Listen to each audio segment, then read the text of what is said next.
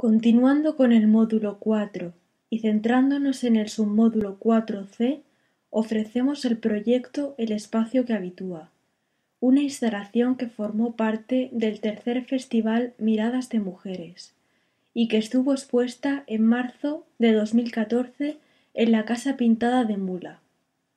También fue expuesta ese mismo año en Cala Dona, Barcelona. El espacio que habitúa conjuga dos elementos, el cuerpo femenino y la maqueta arquitectónica.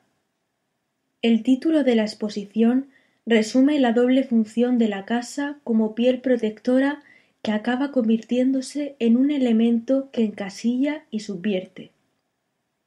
El espacio doméstico como lugar natural que habita la mujer al mismo tiempo que ha condicionado su imagen y comportamiento, teniendo que adaptarse a los estándares diseñados por y para el hombre.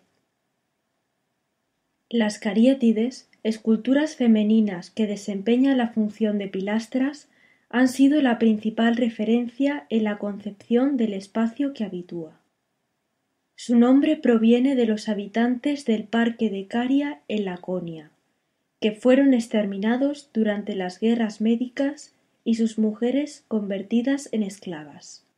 De este modo, en lugar de columnas típicamente griegas se las esculpe a ellas, condenándolas eternamente a aguantar el peso de las arquitecturas. Cada una de las cuatro fotografías que componen este proyecto muestra un modelo de casa individual con terraza asociada a la clase media alta.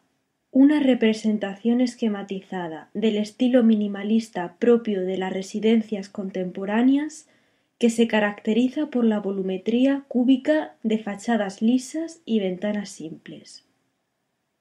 La rigidez de las casas obliga al cuerpo a adoptar posturas forzadas, creando un diálogo de sumisión y adaptación.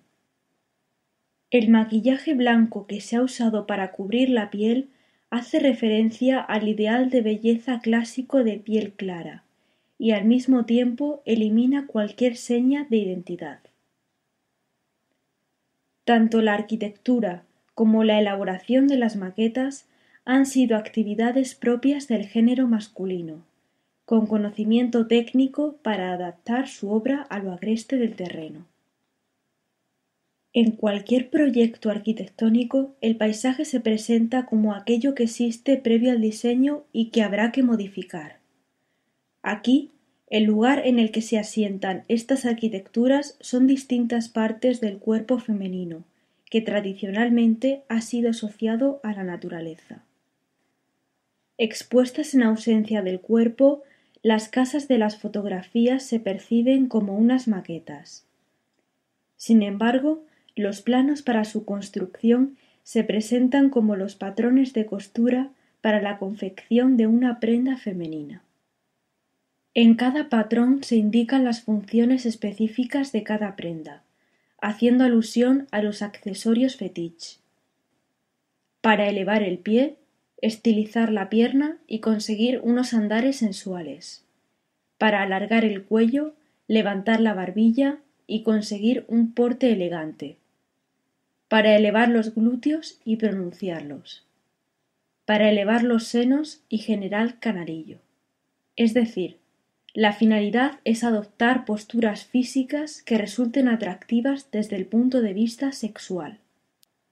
Los cuatro patrones para construir o confeccionar las casas se imprimieron superpuestos y a tamaño real, simulando los patrones contenidos en las revistas de corte y confección. De esta manera pueden seguirse las instrucciones, colocarlos sobre el cartón pluma y construir las maquetas de la misma manera que se confecciona una prenda de vestir. El catálogo de esta instalación puede consultarse en el siguiente enlace.